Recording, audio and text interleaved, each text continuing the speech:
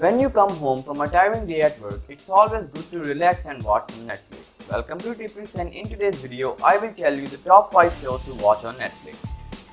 So before starting, if you haven't subscribed, then subscribe for more content and without further ado, let's get right into today's video. Number 5 on our list is the show called Vikings.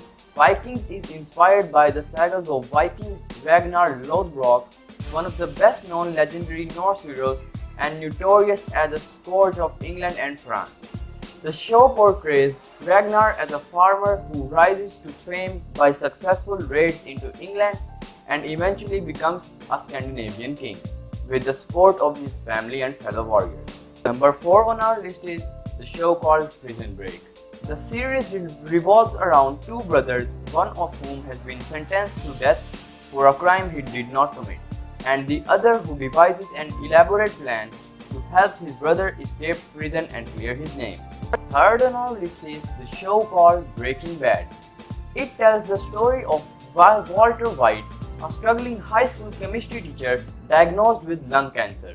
Together with his former student Jesse Pinkman, White turns into a life of crime by producing a selling crystallized methamphetamine I don't know how to pronounce that, just an illegal chemical you can say, to secure his family's financial future before he dies while navigating the dangers of criminal world. And the one who got the number 2 spot on our list is the show called Sherlock. As the name suggests, it's a show about Sherlock. The series is set in the present day while the one of special features of Victorian period fantasy resembling the original Sherlock Holmes stories. Before guys, I announce the show that got the first place in our list. I will I would like to do some honorable mentions which are just too good to leave behind. And they are Dexter, Peaky Blinders, Stranger Things, The Walking Dead, Flash, Friends, House of Cards, Narcos, Daredevil, Arrow, Good Doctor, Altered Carbon, The Vampire Diaries, Westworld, Fringe and Da Vinci Demons.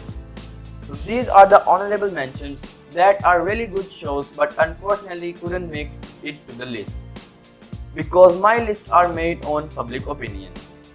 And guys, the number one spot on our list has been given to the one and only Game of Thrones, the top rated show nowadays running on Netflix. It is still ongoing and it is a very uprated show and it, it is an adoption of a song of Ice and Fire by George Martin's series of fantasy novels, the first of which is A Game of Thrones.